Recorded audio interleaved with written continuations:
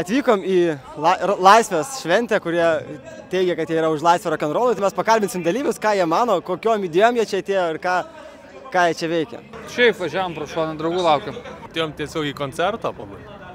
Bet idėja, ar žinot, kokia čia idėja yra šito koncerto? Nu, prieš alkoholį, ne? Kaip, supranta. Tai nežinau, rock'n'rollo nelabai buvo. nežinau, kaip čia su tuo pavadinti. Žu žmonės susirinkę. Ta prasme, tikrai nespecialiai į renginį atvykau. Palaikom alkoholio draudimą. Prieš ką? Mes čia veikiam? Nu, atėjom palaikyt. Tuoj palaukit, suformuluosiu. Atėjom palaikyti, kad neuždraustų alkoholio. Laisvė regiui! Švenčiam, čia laisvė rock'n'rollui, pas mus laisvė regiui! Jūs už laisvę rėgiui, taip? Jau! Ką čia veikia, ponas? Laisvė regiui! Mes, mes pala- palaikome regiui. Nieko, čilinam. O ko atėjote į, į renginį? Nežinau. Ką čia veikiat? Bambulį e, ieškoju, vo čia. O ar šiaip alkoholizmas Lietuvoje, kaip manote, ar yra problema? Manau, jo, lenkiam Rusiją.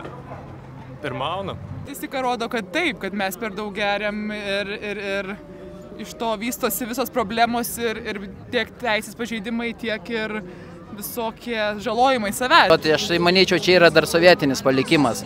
To alkoholio vartojimas, kaip tarkim, um, švenčių kažkoks akcentas būtinas, ar ne? Per kelias kartas tikiuosi, tikėkime, jis įsispręs.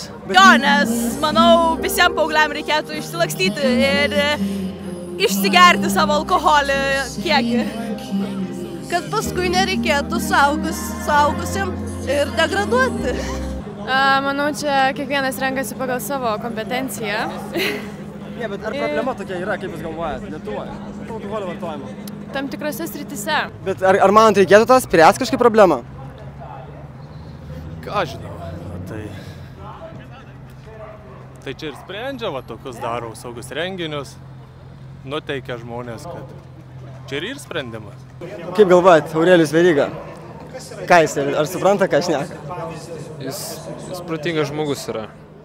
Manau, suge, ne kiekvienas sugebėtų prieš tokią minę e, pasakyti normaliai savo nuomonę. Jis nėra pats, e, pats kvailiausias politikas iš šito. E, reikia daryti kažkokius sprendimus.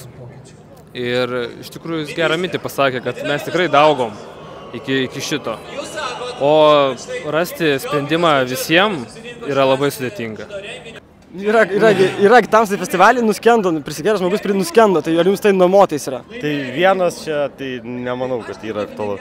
Tai reiktų, kad daugiau nuskestų, tada būtų. Taip. Aišku. Visą laiką bendrauti su žmonėm yra smagu, aš suprantu reakcijas.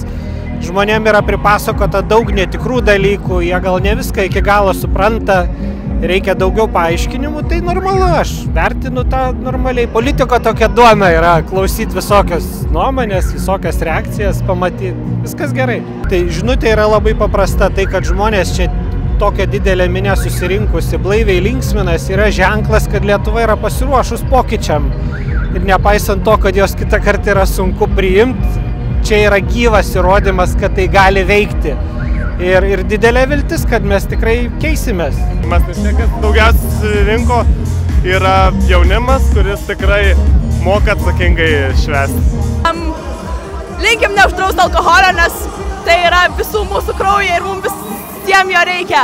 Kad būtų linksmai per tokius festus. Jo, Žodžiu, norit- galapagų svarbiausia. Norit gerti, venti ir kad būtų smagu. Nu, gert jo, bent nelabai, nes bloga paskui, bet kad pachmėlas kitą dieną būtų, tai žiauriai gerai. Bet pasitaiko ir apsivent. Pasitaiko. A kiek jums metų? E, 15. 15. Nelabai, nu bet kiek yra, Pasaulio sveikatos organizacija jau tokia turi kaip maldelė. Trys punktai, kurie yra efektyviausi alkoholio mažinimui. Tai suma, uždrausti alkoholio reklamą, mažinti prieinamumą ir didinti kainą. Tai yra paprastos trys priemonės, kurias, kurias naudojant alkoholio vartojimas mažėja. Tai yra žiauriai paprasta.